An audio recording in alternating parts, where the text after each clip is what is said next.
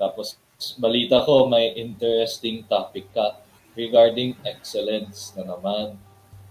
Excellence, nako naman talaga. Oo. Ano tong excellence na excellence na to, narinig ko? Excellent student ba? Excellent driver? Excellent financial planner, katulad mo? Just, Ay, nako naman talaga.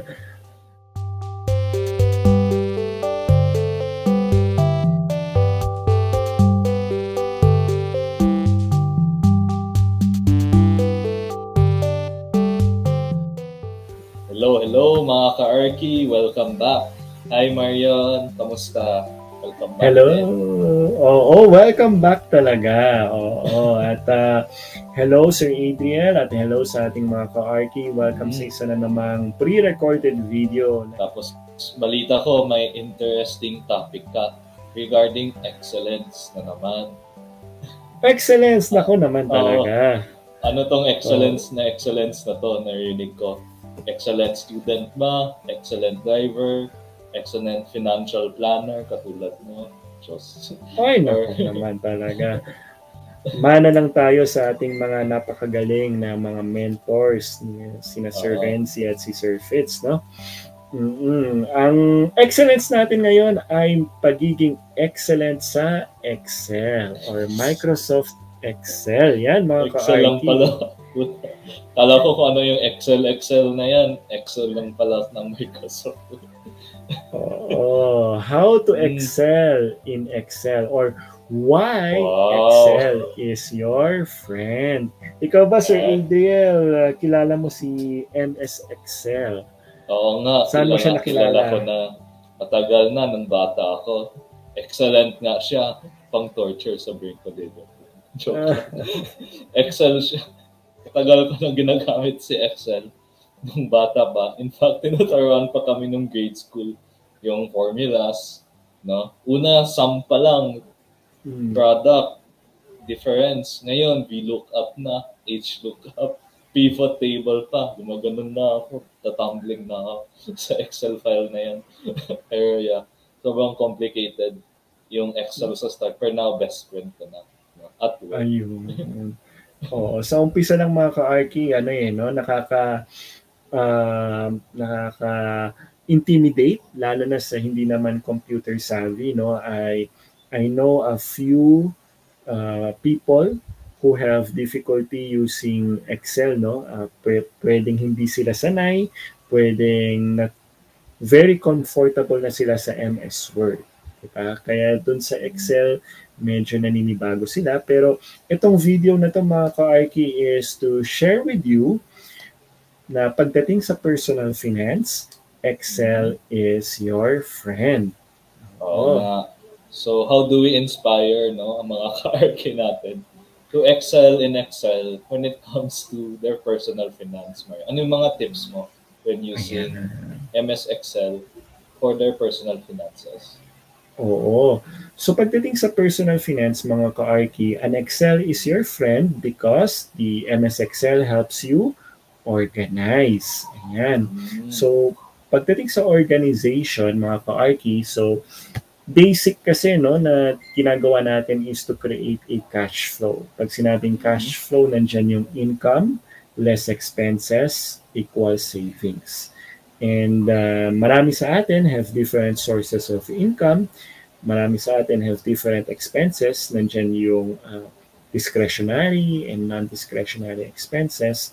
And then marami rin tayo no, na pinaglalaanan ng ating mga savings. So paano natin siya i-organize? No? Uh, yes, I know some people who use a notebook, mga ka-Arky. Uso pa rin to yung notebook. Ayan, dito nila nililista yung kanilang mga expenses. Ako, Wala namang paano kung masama. masunog si notebook? Ayun Naiwan lang. sa sunog. Oo, May sunog, tapos naiwan. Paano yan? yun na nga. O kaya naiwan sa bus, di ba? O naiwan Nako, sa, sa bus pa. aeroplano. Di ba? Oh, Oo. Oo. So, uh, yun din, no? Or nabasa. The, yung simple lang, no? Sir Adrian, nabasa, di ba? O, hindi mo na makikita yung nakasulat sa notebook. Mhm. So, that's reason number one why Excel is your friend. Excel helps you organize no yung mga different sources of income mo, different expenses, And at the same time, dahil soft copy siya, you can save it on a USB, save it on a laptop, or create a Google Drive, di ba? Para kaya mawala yung laptop mo, you still have your file on the cloud. Oo. Di ba? Makorrupt pa yung USB na yan, na madalas pang makorrupt, no? Dahil kung anong virus kinukuha.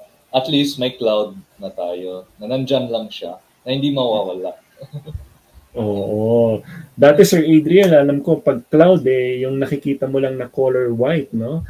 Pero hindi Oo ko siya alam i-explain yung kung ano yung technicalities ng cloud data. so, research nyo na lang yun mga ka-RK. Just check it out, Google Drive, di ba? Yan, that's another way of uh, saving your files. Punta naman tayo sa second reason Hmm. why Excel is your friend. And Yes. Excel is your friend because it helps us compute. Oo. Mm, pero may calculator naman. Paano yan? Oo, yun. Pag calculator, ano na yun, um, mga manual na yun, di ba? Ah, Iko-compute mo dito, tapos isusulat mo pa either sa notebook or sa MS Word, di ba? Mm, Ah, matrabaho siya. So, good thing si Excel ay meron siyang mga formulas, di ba? Hindi mo kailangan Mm. tandaan kung ano yung mga formula na yon, yung equal, sum, open close parenthesis, ganyan. oo. Kasi meron naman siyang mga buttons, di ba? Na pipindutin mo Yes. lang, mag-auto sum na siya. Mm. Oo. Nabanggit ni Sir Adriel yun kanina, no? some of the features ng uh, Excel formula, yung mga HLOOKUP, VLOOKUP. But for the starter, di ba, hindi naman natin kailangan mo na yun. Di ba? Yung mga basic lang na addition, multiplication, uh, yun ang gagamitin natin. No? Uh, so the Excel helps us make computations without any more using a calculator or your cell phone to compute. Yan. Oo. So si Excel ay technically a built-in calculator na. Kailangan mo lang alamin yung formula. And mayroon akong present sa mga Excel people dyan. Or gustong matuto yung Excel. No? Mhm. So share screen lang ako. Sige. Saglit. So punta tayo sa Excel file. Kita ba yung screen? Ayan. Yun. So, meron itong insert function na fx. So, kung hindi mo alam kung anong formula or kung ano yung ano um yung I forgot the term. I forgot the term. Yung conditions or yung statements. So, pwede mo lang hanapin yung function. For example, itong VLOOKUP. Tapos, lagay mo na yung arguments mo dito para mapapadali yung buhay mo. No? Arguments, So Sir that's it. Adriel, ano ba yan? Away ba yan? Arguments? Hindi. Hindi naman. hindi, hindi naman tayo aaway sa Excel. Friend, di ba natin? So, Ah, lalagay lang natin yung values dito. No? Para gumana siya. And uh, wala akong clear example right now. But let's try it again. No? So, kung let's say sum, no? yung hanapin natin. Lagay ko lang si number 1 and si number 2. Then, pag-click ko ng OK, yun, automatic na. Nandito na. So, yun. Just a quick Excel tip sa mga naninibago, no? Or yung mga first time gusto maging uh, excellent sa Excel. Yun. Excellent sa Excel. Kasi nga, Excel is your friend pagdating sa personal finance. Oo. Oo. Actually, dapat ano, no, gumawa pa tayo ng more videos pala about using the Excel, no, yung pag, some of the basic computations, di ba? Pwede rin yan the personal finance na, personal finance. How to use yung future value, present value. Yun. Remind mo na lang ako. Ready. Oo. Oo. And so, ano uh, third Uh, the third, oh, the third reason, Sir Adriel, ay Excel is your friend because the Excel file helps you monitor your investments, Mm. helps you monitor your cash flow, di ba? Um, balik tayo dun sa notebook mga ka-Arky, no? So if you have a notebook, pwede naman yan, di ba? Kaso di ba habang tumatagal, nauubos din yung pages, at the same time, yun na nga, baka mawala, masira, o makita pa ng ibang tao, di ba? If you want certain confidentiality, yun ang isang maibibigay ng Excel. Pwede mong lagyan yan ng password, eh, di ba? So, Yes. ikaw lang or your girlfriend or your wife ang may access dun sa Excel file na yon. But going back, no, it helps you monitor yung cash flow mo mga ka-Arky. So, for example, 2023 na, binigyan ka ng company mo ng mas mataas na sahod. Diba? So, all you have to do is to create a new tab, label it 2023, and then ilagay mo na doon yung updated salary mo. So, with an updated salary, since tumaas yung salary mo, hindi nagbago yung expenses mo, then your savings will be much higher. Diba? So, yun, no? It helps you monitor yung inyong mga expenses. And at the same time, pagdating sa investments, mga ka-IT, problema kasi, no, and I see this with some of the clients, hindi nasusunod yung monthly investment na dapat nila ilagay. For example, dapat to reach my goal, I want to own a car in 5 years, dapat every month na maglalagay ako ng 10,000. Diba? So after 12 months, lumalabas pala 6 months lang ako naglagay ng 10,000.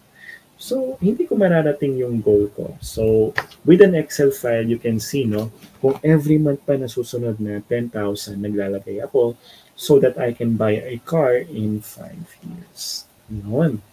Yun. And then another thing, no, since you mentioned na about sharing, yun, we can share passwords para, well, not just share password, but you can put a password, no, sa Excel file para hindi makita ng iba. And of course, share it, no, to your like wife, maybe your close friend, or maybe your family. But at the same time, meron din siyang view uh, protection. So, pwedeng a certain part lang ng Excel file, pwede makita ni wife or maybe ibang tao kung super confidential talaga. And it can also be uh, a powerful tool, no, yung what, Marion said regarding monitoring na kapag um, may kulang or if you need to update something, you can easily update it by changing already the um, figures within the file. Kaysa nag, ano mo yun, nag-scratch ka pa sa notebook, um, change yung figure, tapos yung buong papel mo parang all blue na or black dahil dami mong erasures. So at least Mhm. minimize, no? Oo. yung Tama, uh, tama paper yan. trail. And of course, mas malinis sa Excel file. And then one last thing, no, before uh, we summarize everything, is that Mhm. um, with the Excel file, at least um, you know where it is. No? Di mo na siya like iisipin for like a while if you're like trying to um, organize or trying to fix your finances. So if you need to update it, it's just there. No, kaysa nakalagay lang sa papel or like sa notebook na baka mawala. Uh, maybe instead of um, putting your whole financial plan or like yung computations in a notebook, pwedeng sa Excel. Tapos yung notebook mo, pwedeng diary na lang no? in regards to creating a financial journey, a journal.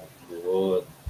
Mhm. Just to And, uh, a, a bonus uh, feature or a bonus Mm. benefit na idadagdag ko Sir Adriel before we end this video is ginagamit ko rin po yung Excel file ko as my file to save my username and password sa mga iba't ibang accounts ko. Oo, 'di ba Sir Adriel, no? Meron tayong mga bank accounts, meron tayong mga UITFs, mutual May funds, may app na trading for that. platform. The- Oh, of course, meron ding app. No? Ah, but uh, sa mga gustong i-centralize yung kanilang mga information, so pwede nyo rin yung ilagay no, sa Excel file. And also, password protected. 'di ba Mamaya kasi may ibang maka-access ng password and we want to keep it private. Ayan. So to summarize everything, no. So the first thing an Excel file can do is to organize, no. Then the second is easier to compute or yung computation power ni Excel. And then lastly is to um, easier to monitor yung mga yung progress natin sa personal finance, how much are we in the goal, and then it's also easier to adjust no, yung figures natin. No, kapag may adjustments or sudden yun, market forces, no, like yung Mhm. inflation or yung COVID-19, you can easily adjust the figures. In fact, I was using Excel for a while nung Mhm. gumagawa ng own financial plan ko. Hanggang ngayon, nasa laptop ko pa. Hindi ko pa binibisita ulit. Maybe it's time for me to revisit it. No? Katulad ng video na ginawa natin dati. No? Oo. Na the questions we ask ourselves before um, doing the investment strategies or before, I mean, when we reorganize our finances. Mm, and uh, before we go, no, ang isang nagagawa rin ng Excel is kapag magpapakonsult po mga ka-RK sa mga financial planners tulad namin, mas madaling tingnan, di ba? Kapag naka-Excel na ang inyong cash flow, ang inyong mga investments, Yes, Diba? mas clean actually. Oo. So, hindi na tayo yung tatanungin ko pa magkano income, magkano expenses.